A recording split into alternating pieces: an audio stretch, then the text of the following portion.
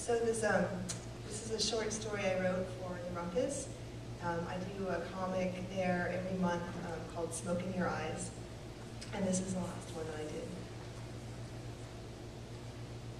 I first met Herbert at the movie theater where I worked when I was 17. He was friends with my coworker Paul, and he'd come in and we'd all shoot the shit for hours.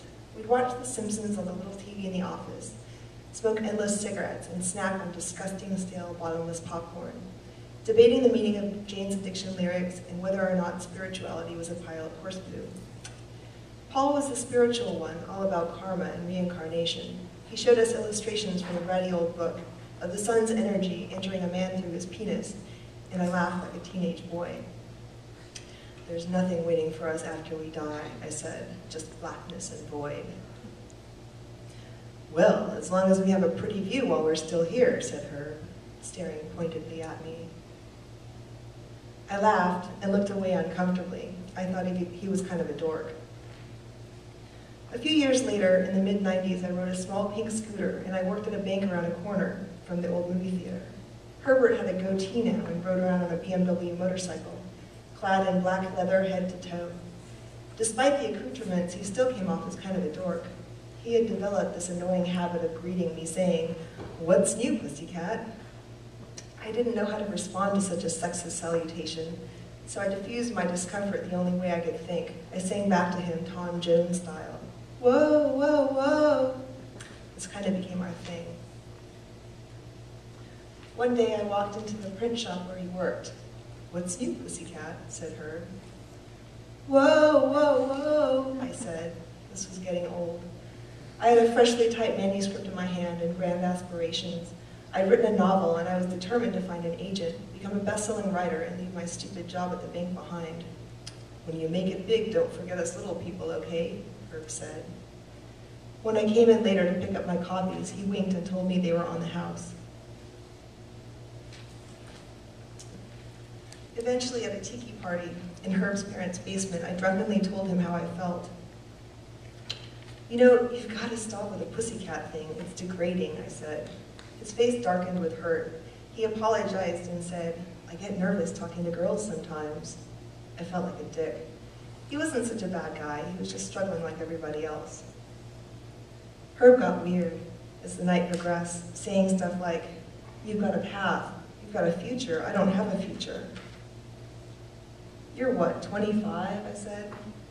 You've got nothing but future ahead of you. Things will be just fine, I said. You'll see. Maybe a month later, I ran into my old coworker, Paul, in a crowded smoky bar on Heath Street. He was sitting with some guys in a little booth at the back of the room. Empty shot glasses littered their table and made it sparkle, and a heavy silence hung over them. A black hole of sound in an otherwise cacophonous scene. They all seemed to be growing goatees. What's with a face fuzz, I asked. It's a tribute to Herb, said Paul. Herbert's dead.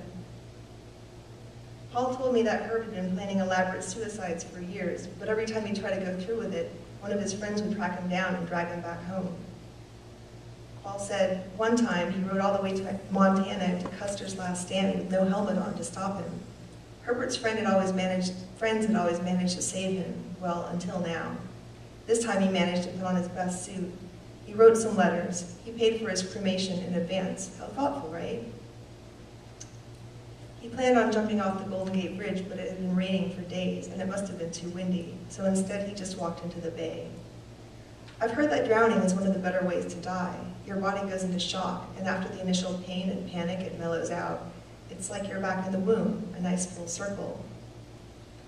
I didn't realize that that would be the last time I'd run into Paul. Had I known, I wouldn't have ex excused myself from the conversation so quickly. I would have asked him more follow-up questions like, what happened at Custer's last stand?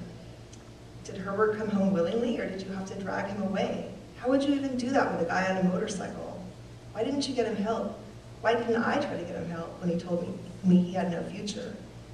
Perhaps I should have seen it coming, but at 21 I was too green to know the difference between a cry for help and a dark, confusing joke with no punchline.